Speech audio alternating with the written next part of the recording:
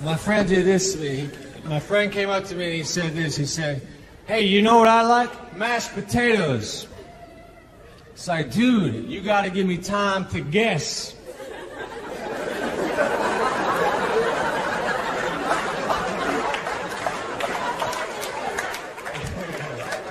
if you're going to quiz me, you must put a pause in there.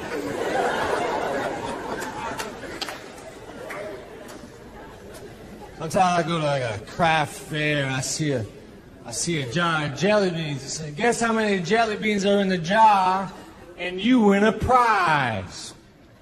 Oh, come on, man. Let me just have some. I'll tell you what, you guess how many I want.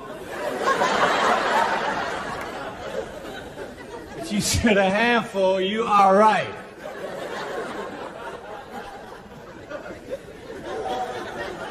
What's up, everybody? Is this special? Fuck.